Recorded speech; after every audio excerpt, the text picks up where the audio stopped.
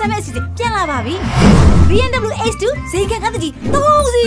ဒါအပြင်နစ်ဆန်ဆန်နေကားအသစ်အစီ30ပြီးတော့ iPhone X လုံးတရားတို့ကိုကန်ဆက်နေတော့မှာပါ Smile ကလေးနဲ့စီပြည့်ရင်ကန်ဆက်မဲ့လက်မှတ်မြတ်စုကြမယ်နော်စီဆိုင်ဆိုတန်ကို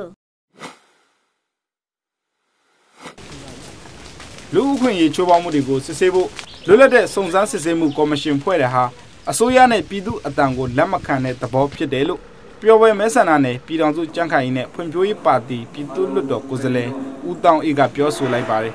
ဒီအစိုးရအနေနဲ့ကပြည်သူ့အတံကိုလည်းတိတ်ပြီးလက်မခံတဲ့သဘောလို့ဒီလိုပဲမြင်ရမှာအဲ့တော့သူလုပ်ချင်တာကိုပဲသူလုပ်သွားတယ်လို့ရှိတယ်ဒါကြောင့်မလို့ဒီဖြစ်စဉ်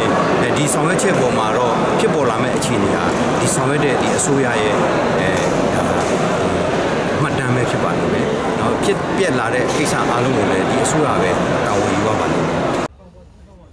ရခိုင်ပြည်နယ်မှာဖြစ်ပွားခဲ့တဲ့အာဆာအဖွဲ့ရဲ့အကြမ်းဖက်မှုတွေကိုစုံစမ်းစစ်ဆေးမှုမပြုလုပ်ဘဲ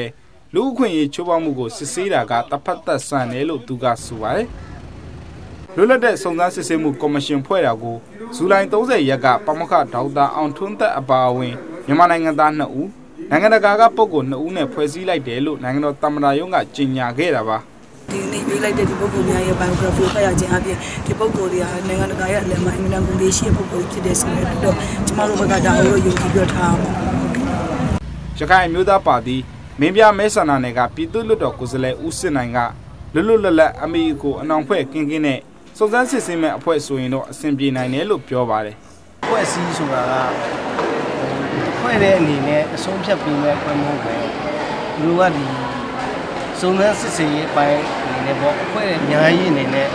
စုံစုံကြီးလွတ်လပ်တဲ့ပုဂ္ဂိုလ်တွေပညာရှင်တွေနောက်ခံဒီ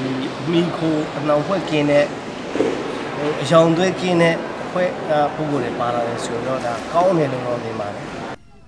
လွတ်လပ်သောစုံစမ်းစစ်ဆေးမှုကော်မရှင်မှာမြန်မာနိုင်ငံဆိုင်ရာဖိလစ်ပိုင်တာမတ်ကြီးရိုဆာရိုမင်နာလိုအဖွဲ့ဝင်တွေအဖြစ်နိုင်ငံတော်ဖွဲ့စည်းပုံအခြေခံဥပဒေဆိုင်ရာခွန်ယွန်းဥက္ကဋ္ဌဟောင်းဦးမြသိန်း လူသားချင်းစာနာထောက်ထားမှုကိစ္စရပ်များဆိုင်ရာကုလသမဂ္ဂဒုတိယအသွင်ရေးမှူးချုပ်ကင်ဇိုအိုရှိမနဲ့နိုင်ငံတော်သမ္မတအကြံပေးအဖွဲ့ဝင်ဟောင်းပါမောက္ခဒေါက်တာအောင်ထွန်းသက်တို့၄ယောက်ပါဝင်ကြမှာပါပြည်တော်စုကြက်ခိုင်နဲ့ဖွံ့ဖြိုးရေးပါတီကနေပြီးအခုကော်မရှင်မှာနိုင်ငံတကာကပုံကိုယ်တွေပါဝင်မဲ့အပေါ်ကန့်ကွက်ခဲ့ပူပါသေးတယ်။